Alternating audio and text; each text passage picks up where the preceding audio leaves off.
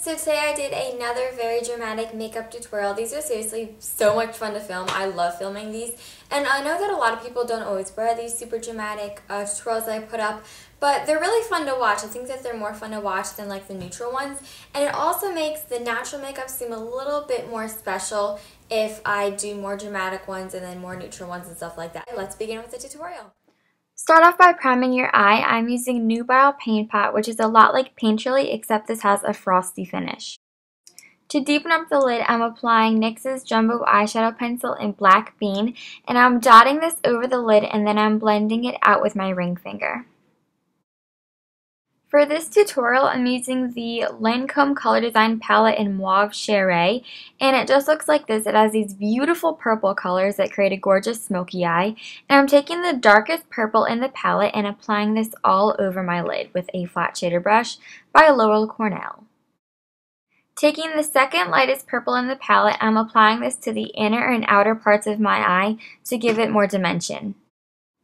Take the lightest color in the palette, this is like a pearly kind of color, and apply this to the middle of your eye. This will make your eye look a lot more round and also will lighten up the lid. To get the perfect crease color, I'm mixing together this black with sparkles in it, as well as that gray that has some black hints to it. Mix those two together on your brush and then apply this into your crease using windshield wiper motions. Since I like matte highlights, I'm taking Brulee by MAC, but you can take that same shimmery pearl color that we used on the center of the eye.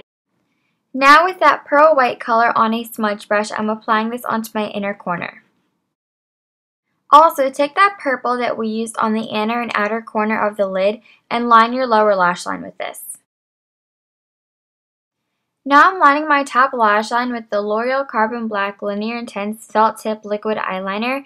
Just take any eyeliner that you want, liquid, gel, pencil, it really doesn't matter. I am going to be going over it in a couple steps, but just line it for now. To give the eyeliner soft and smoky effect, I'm going to be mixing the black and dark purple in the palette and applying this right over top of the eyeliner that we just put down.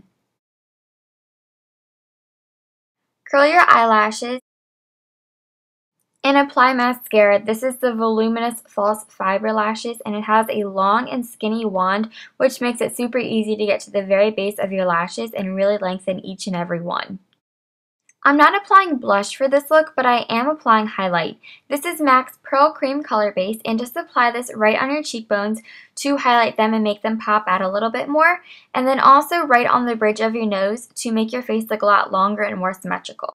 Apply any nude shimmery lipstick. This is 705 Twinkle by Maybelline. And to bring some life back into my lips, I'm applying the L'Oreal Lip Gloss in number 153 Raspberry Splash. And this will just add a little bit more pigment to my lips so that I don't look sickly. So that is the tutorial. I hope you guys all enjoyed this. Thank you so much for watching. And if you do try this out, tweet me a picture. I will have my Twitter linked down below. And I'll talk to you guys very soon. Bye!